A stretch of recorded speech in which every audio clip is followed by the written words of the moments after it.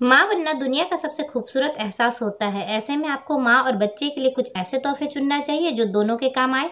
गोद भराई की रस्म में माँ और होने वाले बच्चे को आशीर्वाद दिया जाता है। अगर आपके किसी करीबी के घर पर गोद भराई की रस्म होने वाली है और आप गिफ्ट को लेकर बहुत ही ज़्यादा कन्फ्यूज़ है तो यह वीडियो बिल्कुल आपके लिए हेल्पफुल हो सकता है। तो देर किस बात की? आइए जानते हैं इन गिफ्ट आइडियाज़ के बारे में। बेबी जिम बेबी जिम के बारे में तो आपने सुना ही होगा। बेबी जिम बच्चे के लिए बेहद ही फ़ायदेमंद होता है। इसकी मदद से बच्चा पैरों, हाथों और गले या और पीठ को चलाना शुरू करता है। यह छोटे बच्चे को एक्टिव रखने में मदद करता है। साथ ही उसकी फ़िज़िकल एक्टिविटी के लिए काफ़ी मददगार होता है। इसलिए आप चाहें तो baby shower baby gym gift कर सकते हैं। सेकेंड नंबर पे है प्रोफेशनल मेटर्निटी फोटोशूट। आपने सही सुना। माँ बनने का एहसास महिला के लिए बहुत ही खास होता है, जिसके हर एक पल और हर एक एक्सपीरियंस को गर्भवती महिला हमेशा के लिए जीना चाहती है, संजो कर रखना चाहती है।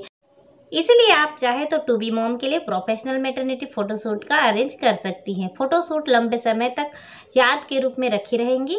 ऐसे में यह एक अच्छा गिफ्टिंग ऑप्शन है। तीसरे नंबर पर बेबी कैरियर गिफ्टिंग ऑप्शन बहुत ही अच्छा माना जाता है। बच्चे को आरामदायक तरीके से कैरी करना बेहद ही ज़रूरी होता है। ऐसे में बेबी शावर के मौके पर बेबी कैरियर एक अच्छा गिफ्टिंग ऑप्शन हो सकता है। यह जितना माँ के लिए काम आएगा, उतना ही बच्चे के लिए भी हेल्पफुल होगा। मार्केट में तरह तरह के बेबी कैरियर आते हैं। आप अपनी रेंज और बच्चे के कंफर्ट को ध्यान में रखते हुए एक बेहद ही बेबी कैरियर बैग चुन सकती हैं।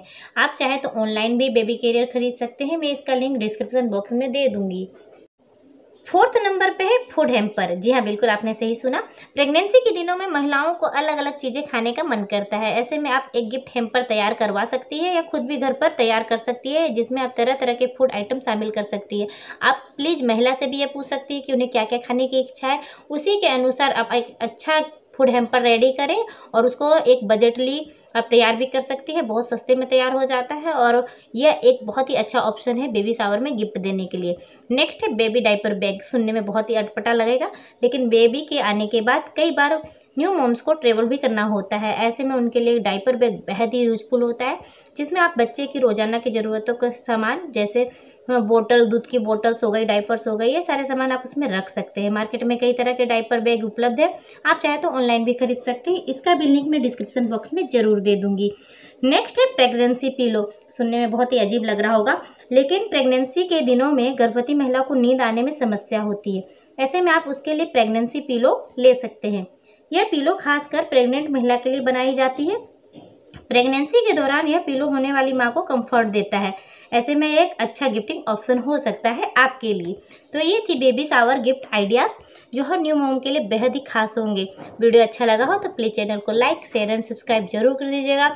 और मैंने लिंक्स बहुत सारे लिंक्स वीडियोज़ के डिस्क्रिप्शन बॉक्स में डाल दिए, वहाँ भी ज़रूर देख लीजिएगा।